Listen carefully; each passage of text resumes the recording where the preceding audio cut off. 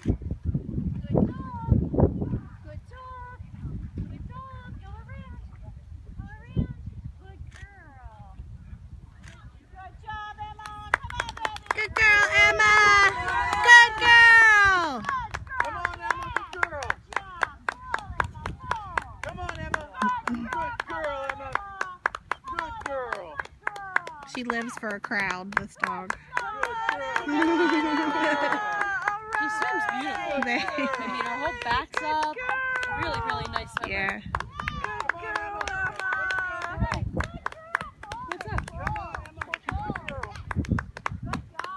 Good girl, Emma. Good girl.